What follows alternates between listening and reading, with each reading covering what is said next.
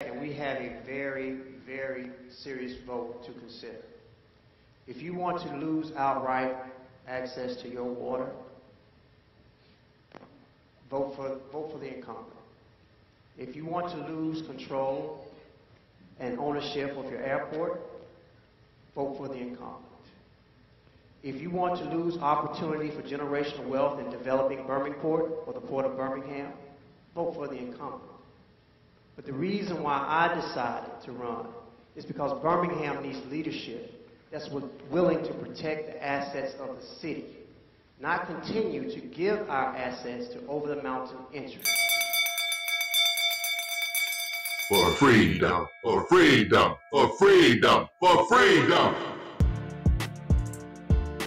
All right, all right.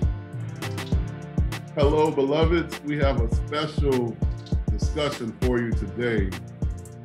Going to be speaking with potential, hopeful mayor of Birmingham, Philemon Hill. And we're going to cover, we're going to, he's, he's wide open. So we're going to cover whatever, whatever we need to cover, and, and we're going to cover whatever he needs to cover. So just to remind you, so some would say, okay, well, why, why are you having a mayor on? Well, I'm having a potential mayor on because we're, we're all about young, wealthy, and Black. And one part, one facet of it is certainly how we go about our political acumen. Because as we will be teaching, politics is all about an exchange. And Mr. Hill there is going to be talking to us about that. Politics is not waiting every four years to, to cast your vote and then go to sleep for four years. There's right. a lot going on in in midterm elections and local elections and mayoral elections. And uh, so we're going to take an opportunity right now so that we have a discussion so that we can learn together. All right. Without any further ado, I want to introduce you all to Mr. Philemon Hill. And oh man, what a great brother. This brother and I, we go way back. Uh, I'm going to let him, I don't want to tell his story, but we go way back. We've been knowing each other for a long time. He is an educated brother. He has, he holds degrees from Tuskegee University. He holds degree from Clark Atlanta University, Tuskegee, BS in Mechanical Engineering, and an MBA from Clark Atlanta U.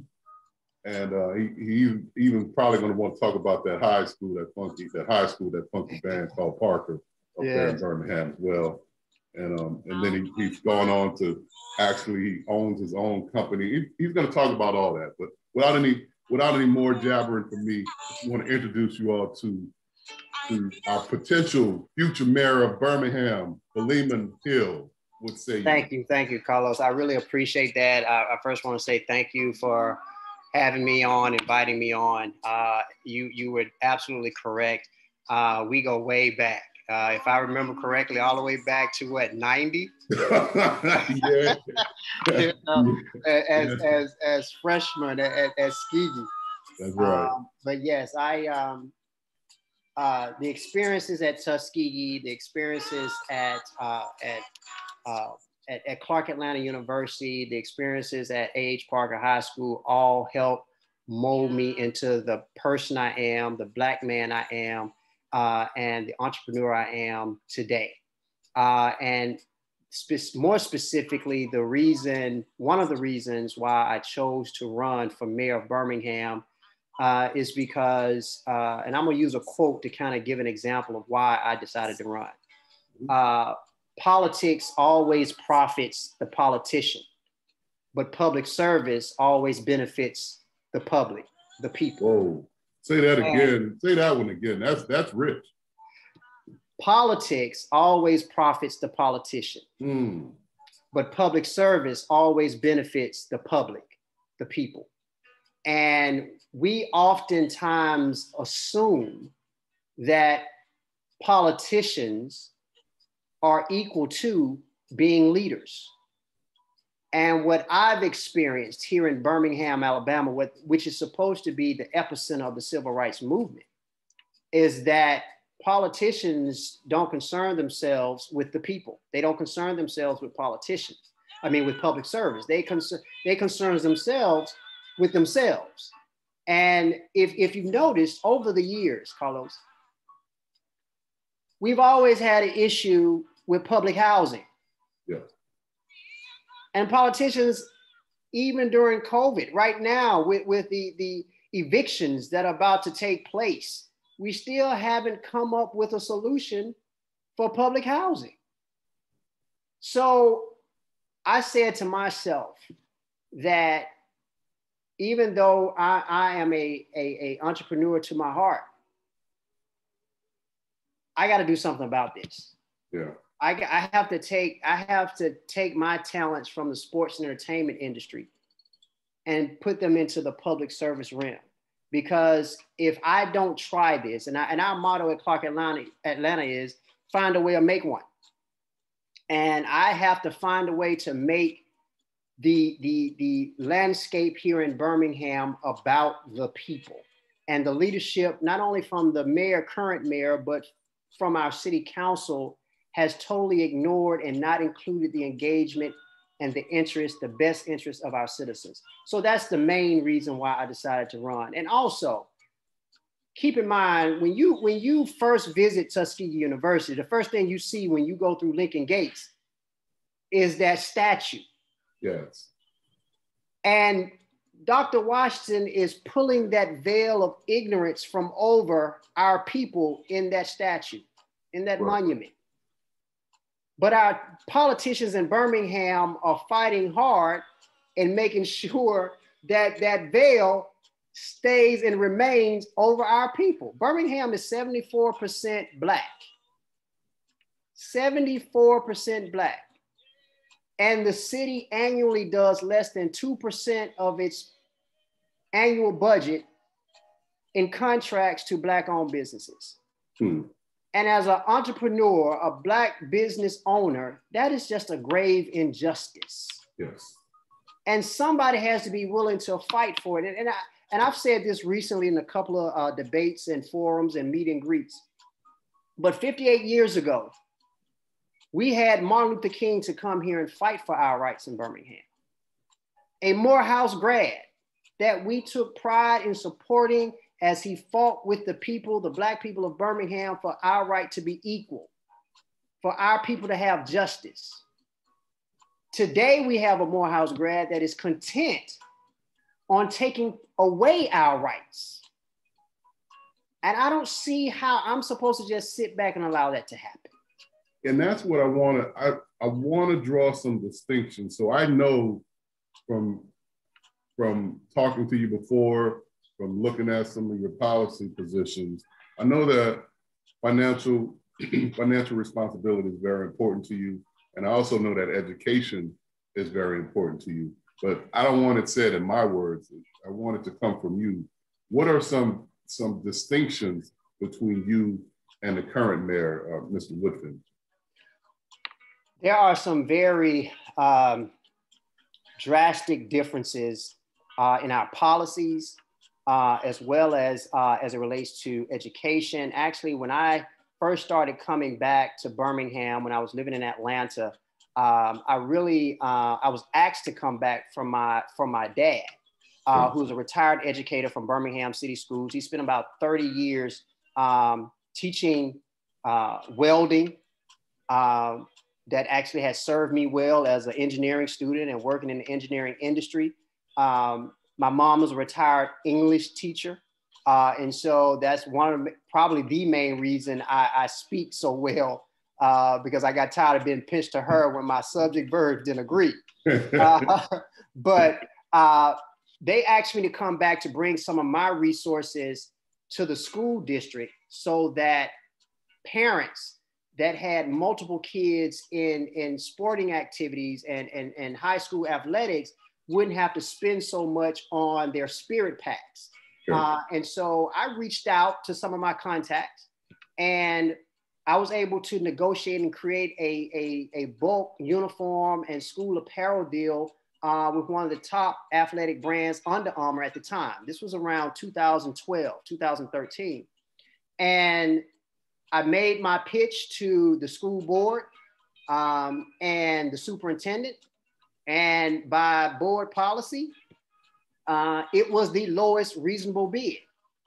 But I had a superintendent at the time that actually told me in front of a former school board member that I wouldn't get the contract, even though I had the lowest reasonable bid, because I was a black owned business. Mm. And so that led me into uh, doing more research to see how much uh, uh, minority owned and black owned businesses uh, were already doing business with the school board. I found out that that was less than 1%. Uh, and so I became an advocate for black owned businesses. Yeah. And it led from there to uh, becoming an advocate for black owned businesses at City Hall. Now, the reason why there's a drastic difference between myself and the current mayor is because he served on the school board. And he took the approach that since that superintendent at the time didn't want to do business with minority owned business, he, as a former city prosecutor, took on that same position. And he has maintained that same position all the way up to City Hall. And so we have to ask ourselves politically, as Black people, when do we raise our intellectual capacity when it comes to politics? We can't always just say we're going to vote. We also have that who are we voting on? Yeah. What are their policies? Because we have a mayor right now who is totally content on using the white minority vote in Birmingham, the LBGTQI voting block in Birmingham and profiting from the divide and the demise of the black vote. So we have from a, it, it, it's interesting to me because I, I, still try to read and keep up abreast to of, of what Martin Luther King was trying to get at in his letter from the Birmingham jail, mm. or what Malcolm X was saying in his speech, uh, The Ballot or the Bullet. Yes. And it actually gives me goosebumps every time I say those two articles or, or letters is that they're still relevant today. And even at the local level, we have yet to be smart enough, learn to be smarter and savvy enough to notice when we have someone who's in political position that's against our best interest as black people. And so from from education to entrepreneurship, uh, to public health and safety. We're just at a totally opposite ends of the spectrum from a policy and political perspective.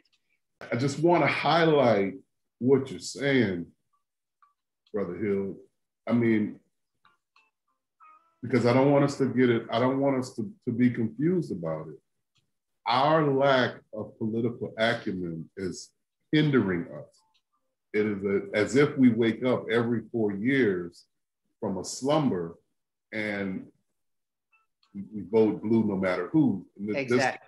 This, this for us is politics, but what you're presenting to us is something is something different. What you're talking about is to be informed, and you're also talking about the what what Dr. King spoke of in his latter in his latter years, which is we're, we're coming to get our check. At the very same time that America refused to give the Negro any land, through an act of Congress, our government was giving away millions of acres of land in the West and the Midwest, which meant that it was willing to undergird its white peasants from Europe with an economic floor. But not only did they give the land, they built land grant colleges with government money to teach them how to farm. Not only that, they provided county agents to further their expertise in farming. Not only that, they provided low interest rates in order that they could mechanize their farms. Not only that, today many of these people are receiving millions of dollars in federal subsidies not to farm, and they are the very people telling the black man that he ought to lift himself by his own bootstraps. And this is what we are faced with. And this is the reality. Now, when we come to Washington in this campaign, we are coming to get our check. There is a financial, there is a financial portion of politics that we've been shut out of.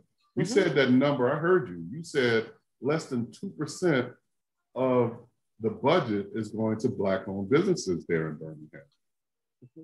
That would indicate to me that, you know, a lot of times we say things like, pick yourself up by your bootstrap. Oh, you, you black businesses this, and then folks will have a negative, some something negative to say. Even we, even we black folks will do this sometimes. Right. right. I don't think we fully understand. Wait a minute, there is 98% in Birmingham. Let's let's just stay with the Birmingham example.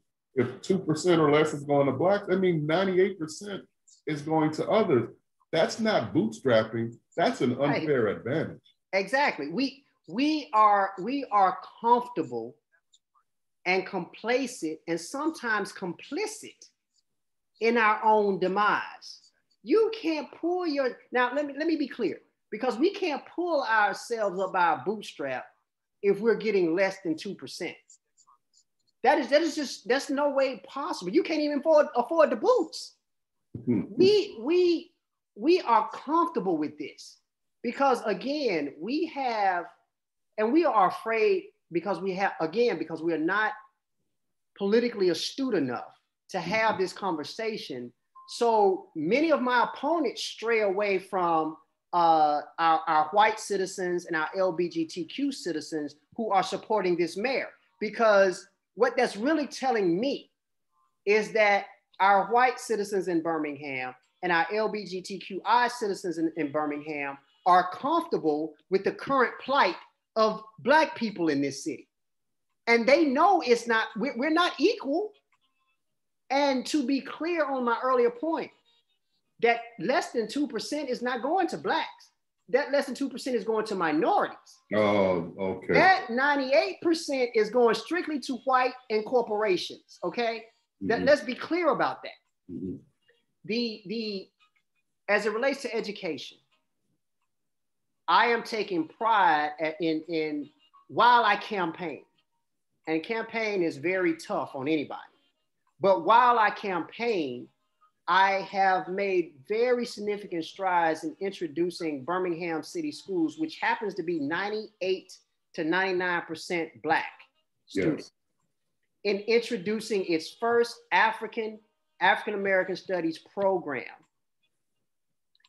Because it always i always ask myself with, with it being 98% to 99% black why don't we have a district-wide african american studies program? If, if we really want to uh, uh, deal with uh, high, uh, school dropout if we want to deal with behavioral issues if we want to deal with in-classroom performance uh, test scores if we want to improve all of the good things that enhance and add to our children's uh, educational development why don't we have something about their culture? Exactly. In the school so, system.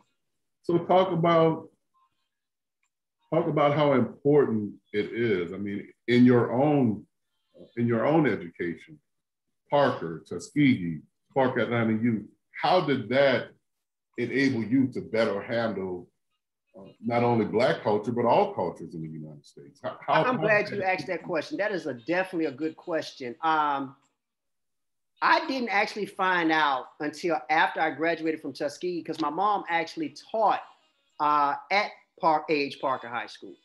And it wasn't until after I graduated from Parker and I was at Tuskegee that I found out that there was a direct correlation to A.H. Parker High School and Tuskegee. And Dr. Parker created and established and started Parker based on the Booker T. Washington Tuskegee Institute blueprint. And so that gave me more confidence as I've studied to become an engineer. And that's why it was so important for me to say, because again, coming from Parker, coming from Tuskegee, coming from Clark Atlanta University, we were trained to be solutions oriented. And I'll just show you the book. Um, it's a comprehensive, and it's called Black History 365. Yeah. It is a comprehensive. If anybody wants to, to go and check out this, uh, you can you can purchase the book. It's available for every grade from pre-K all the way till 12th grade. Um, and I am responsible for trying to get this curriculum into every school district in the state of Alabama, as well as HBCUs. You can purchase it for your home. It's an ebook. Uh, and I'm just proud that Birmingham City Schools and the superintendent is moving forward with this. And to show you how I'm using this to put the city of Birmingham on a global map with my economic plan, this program will include an annual international field trip to Africa starting in Ghana. The reason why that's so important is Birmingham, the largest city in the state of Alabama, Birmingham Shuttlesworth International Airport does not have any international flights. And so, for example, Atlanta International Airport, they have just the airport now has 63,000 plus jobs and they generate 56 billion dollars annually. Imagine what Birmingham could do with a fraction of that. We're going to employ people. We're going to help people, Black people, generate generational wealth. And that's what this is supposed to be about. And so, implementing this educational program helps not only our kids, but it helps our community, it helps our culture. And the adverse of that is our current mayor in last year's budget during COVID only allocated zero dollars to our public school system. And this year it will be zero dollars. Now, the city budget for this year is $455 million. dollars, And our public schools are only getting zero dollars. So that lets you know right there where we differ on everything from economics to education and black entrepreneurship being engaged in our in our local economy. Absolutely. Now, looking at looking at your your slogan for your campaign, action, results, good trouble. Explain that for us. Well, I, I want again, I wanted to, I wanted to, most politicians as they campaign, they talk the good talk. But once they're in office and while they're campaigning, there is no action. There is no results. But you can already see during my campaign the actions that I've taken. You already see the results that I'm producing. This, whether I win or lose, this education system is going to be in Birmingham City Schools and it's going to grow throughout the state. The Shower of Love Project, which is my nonprofit, a mobile shower service uh, for the homeless and for our working poor and for those in need. As we still journey through and navigate through this COVID 19, we're going to have more people falling into the homeless and in need category. And good trouble we have become afraid to speak out. One of the things I remind myself when things get tough during this campaign, I remind myself of this quote. It takes courage to, to take a stand and fight, but it also takes courage to sit down and listen. I know what to fight for in listening to my constituents, in listening to the citizens, listening to the seniors, listening to the, the, the Generation X, listening to the millennials, listening to the veterans, listening to LBGTQ, both black and white, listening to women, both black, white, and Hispanic, listening to everyone because that's how I know what to cause good trouble in and for. I'm willing to fight for my people. Well, black people have to, to accept we get so preoccupied with politics, we forget about freedom, let alone fight for it. Yeah. But you can't show me one time in history where politics has given us freedom, has given us equality, has given us justice. So why are we continuously voting people in office that aren't working toward their goal? We got to be fighting for free. We got to be free. If we just say, you know what, enough is enough. Right. We can't allow individuals that are not working, that are working against our best interests to always be in control. We got to put people who are going to make sure that we are on the right track towards freedom, towards liberation, towards justice, toward equality and economic liberation. Then we're doing what we're supposed to be doing. But until then, I can't sit back and, and knowing that we still need to fight for our freedom, fight for our equality, fight for our justice, while we have all these Stevens from Django that's only doing everything to prevent to, to, to, to profit themselves while we continue to suffer. Believe me, did you say uh, Stevens from Django? yes, I did. I, no, and look, we got to be willing to hold our, our, our, our elected officials accountable because I tell you, there is nothing about politics that makes me want to come into politics. and that's why I'm, I'm very careful when I use the word politics and politician, because again, I'm running as an ethical leader. I'll put my character, my integrity up against all seven candidates, and I know I will come out on top every time. Ethical leadership is what we need, not only in this city, but in this country. That's right. We got to have ethical leadership that's willing to say, you know what? Y'all ain't putting off reparations no more. And not only are we, we're not asking for reparations, we are building our community, we're building our youth so that they know how to be self sufficient.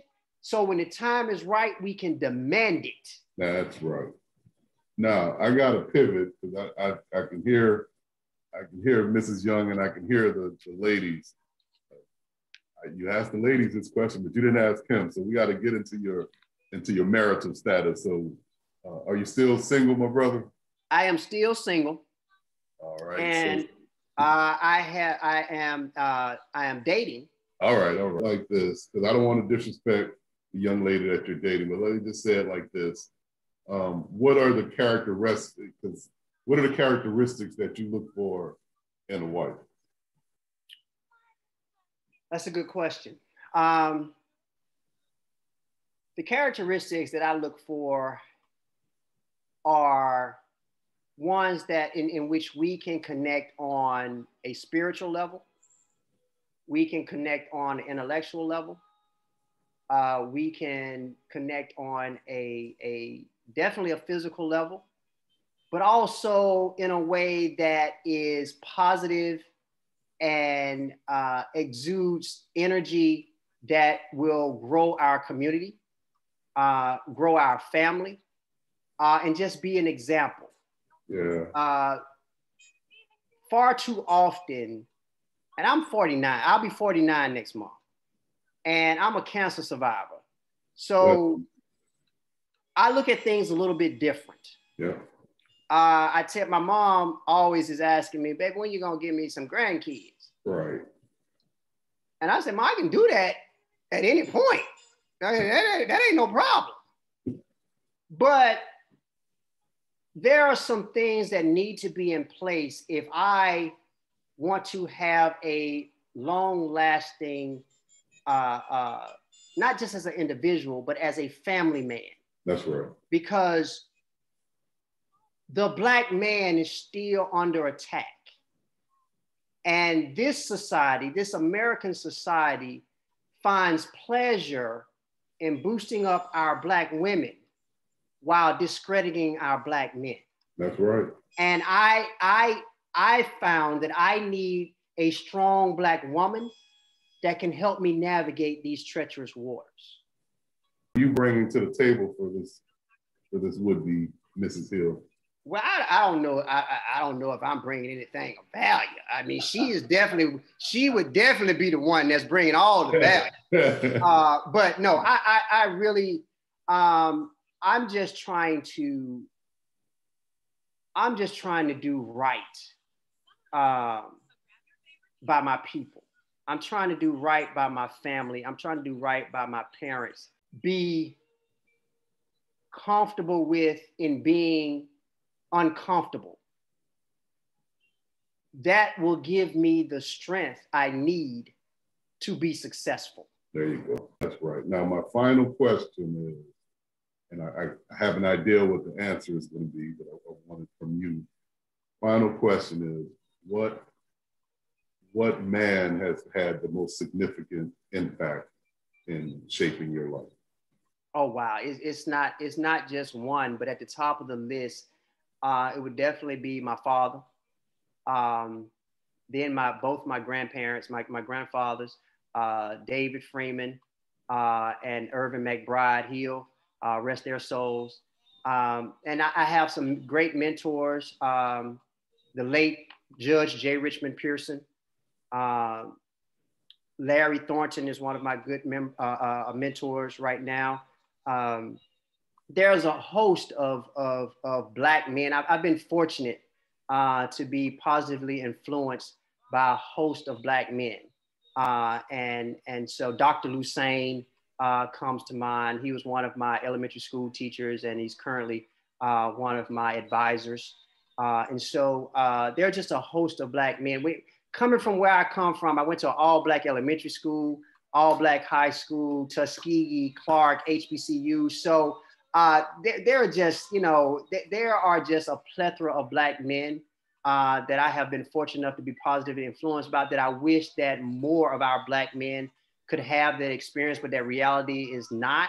Uh, and so it is my responsibility, it's our responsibility to be that positive influence that they didn't get earlier in life or before now, uh, or before we cross paths with those young men.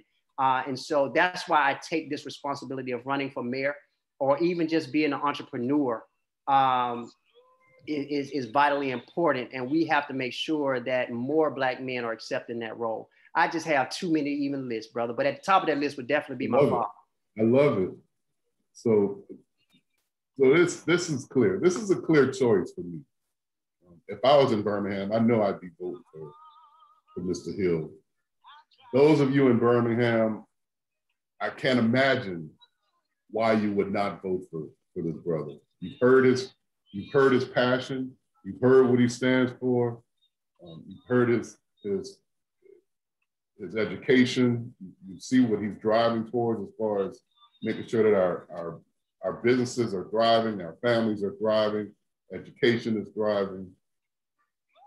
You're gonna have a choice here, August 24th, and I would encourage you, I would beseech you to cast your vote for Philemon Hill. Those of you who are not in Birmingham, why don't you throw your support his way? I'm gonna leave, I'm gonna leave his the link to his Cash App and his and all of his information in the in the description below. You should support him. Why? Because when are we going when are we going to get the change that we deserve? Right. We have folks that are stepping up at their own look, I've, I've run before. Let me tell you, it, it is not easy. Right. People attack your family, they attack you. It's it's not an easy to think, easy thing to do. And especially when you're doing it not for the money. Mr. Hill already, he's already built wealth. He's not in it for the money. So when you have people like that, you need to, you need to show your support their way. So I would encourage you to do the same thing. Thank Mr. You. Hill, I just wish you all the best of, of blessings and your path, uh, not only for this mayor campaign, but indeed, indeed for your life. You're just a good brother, man. It's good talking to you. Thank you, bro. I really appreciate it. I appreciate your support. I appreciate this platform. Again, elect Philemon Hill for mayor, of Birmingham, Alabama. Uh, if you're not in Birmingham, please, if, if you're a, a A.H. Parker High School grad or Birmingham City School grad, uh, if you're a Tuskegee grad outside the city limits of Birmingham, if you're a Clark Atlanta grad, a HBCU grad, please support my campaign. The Cash App is dollar sign Philemon Hill for mayor. Uh, my web page is www.philemonhillformayor.com. Uh, again, action, results, good trouble. Uh, my platform is a comprehensive public health and safety plan, along with uh, uh, um, a global economy for Birmingham, as well as making sure that we implement new laws around civil human, environmental, and immigration rights.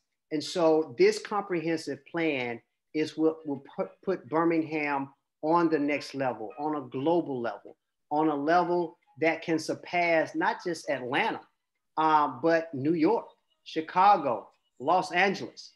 I'm not just talking about expanding the Birmingham International Airport.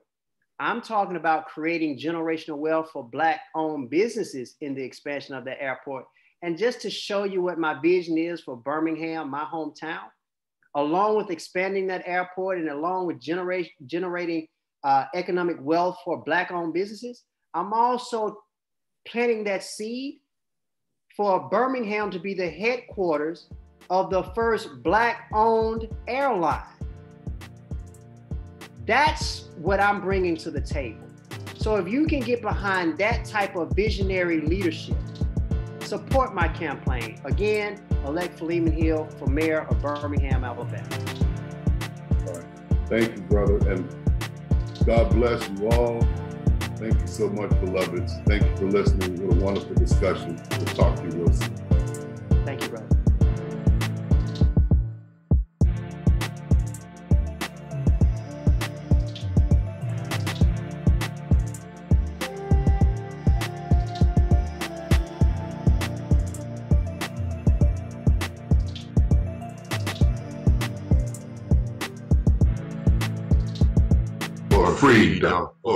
Freedom, for freedom, for freedom.